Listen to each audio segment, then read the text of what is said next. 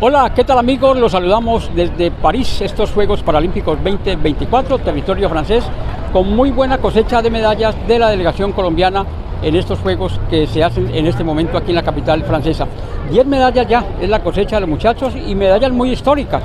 Por ejemplo, la de Erika Castaño en lanzamiento de disco. Es el primer oro que gana una mujer en, estas, en esta disciplina deportiva en la historia de los Juegos Paralímpicos. Erika Castaño, que venía con buenas referencias porque venía como campeona del mundo en esto del lanzamiento. Y aquí lo ratificó con la medalla de oro. Y qué bueno que el paratletismo también nos entregó la segunda medalla de oro con José Gregorio Lemos, otro vallecaucano que está haciendo, en cada presentación hace nuevo récord mundial, siempre es el récord mundial de él el que supera, de manera que son muy buenas noticias la que nos entrega en este momento el deporte paralímpico aquí en París.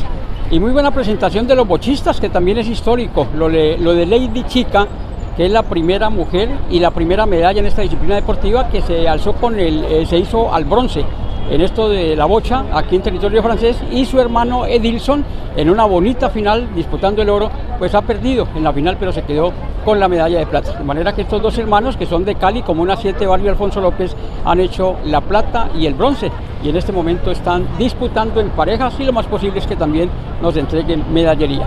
Y a estas 10 medallas que son muy importantes para Colombia porque supera lo de Tokio, no solamente el número de la delegación, sino el número de medallas.